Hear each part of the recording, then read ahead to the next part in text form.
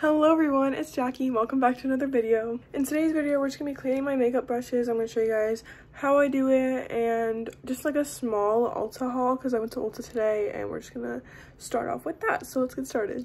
Okay, so starting with the Ulta haul, um, Wet n Wild just came out with this super duper cute SpongeBob collection and I love SpongeBob. I already unpackaged the stuff when I got home, but I'm still gonna show you guys what I got.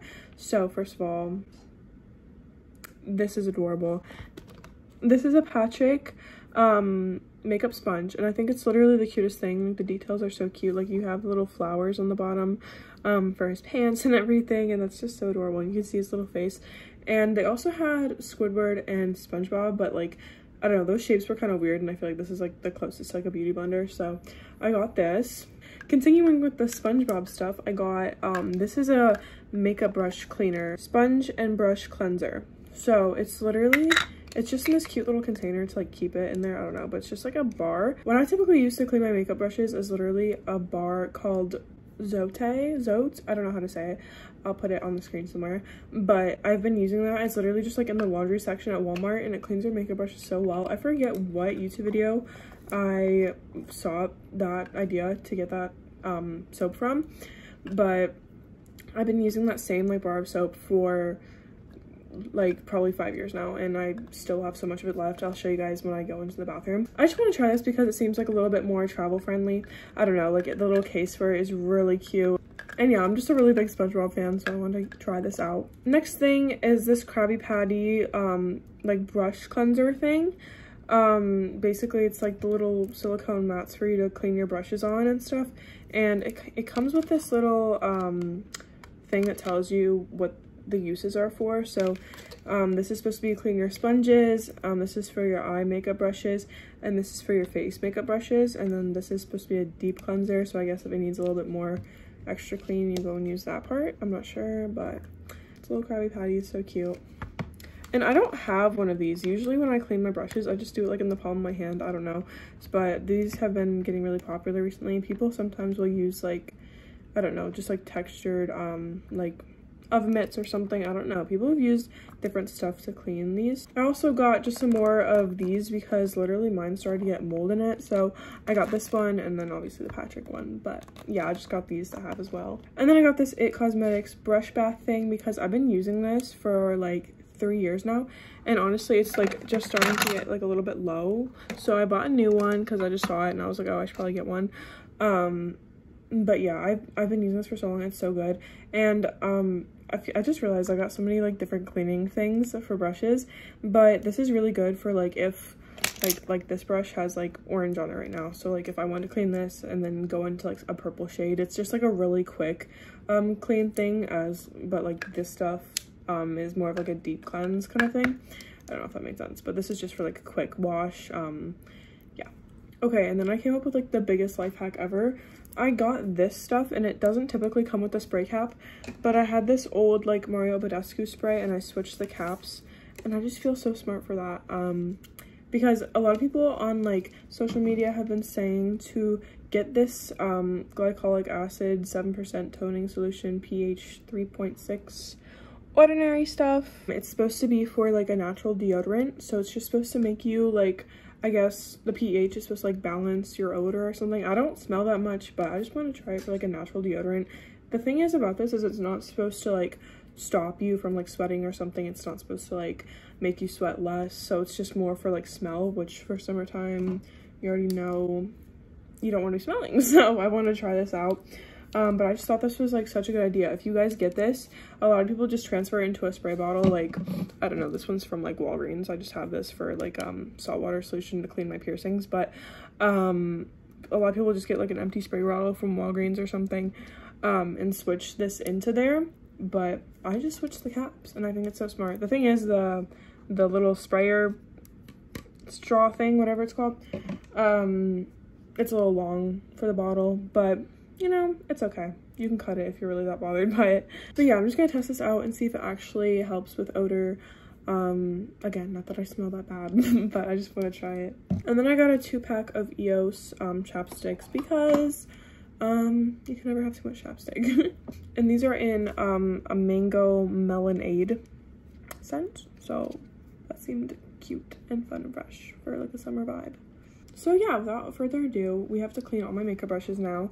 Um, I kind of have a lot. We're gonna get started on cleaning my makeup brushes. So I'm gonna, gonna show you guys how I do them and if this stuff works. And oh, so let's get into it. Also, this is really random, but another thing I want to get is um they have these like makeup eraser pads i'll put in a picture um from sephora that are spongebob themed i'm just that's just so cute and i'm so obsessed with that stuff but yeah okay let's get started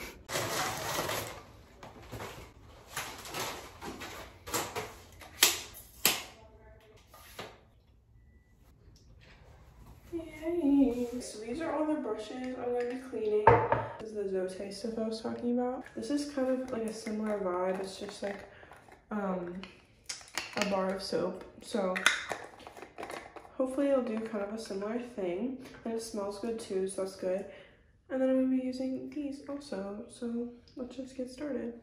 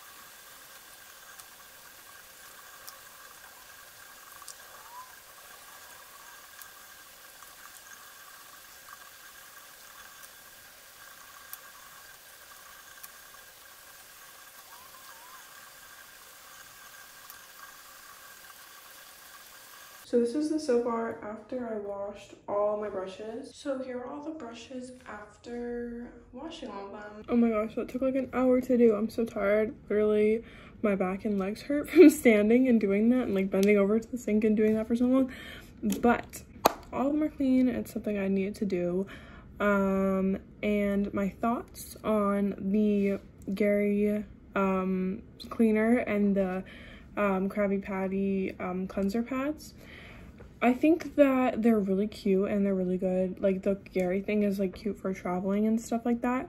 And it worked really well. Like a lot of the my makeup brushes had like like a lot of makeup on it and it did do the job and it took all of it off and they're also not really that expensive they're pretty inexpensive i think they were like only a couple of dollars i'll put the prices on the screen i feel like maybe i could have done without the krabby patty because like i said i typically just kind of put it on my hand um and like do it that way and i've never had a problem with it. If you're the type person that likes the the cleaner pads then the Krabby Patty would be good for you. I felt like there wasn't a big difference between the different types of textures. And I feel like the soap was very similar to the pink one I showed in the beginning, the Zote one I got from Walmart. It was literally like a dollar or two. I'll put it on the screen here. That's my overall review. So I'm just gonna let them dry for a couple hours. Also, I know a lot of people are gonna come at me for not drying them like standing up or whatever.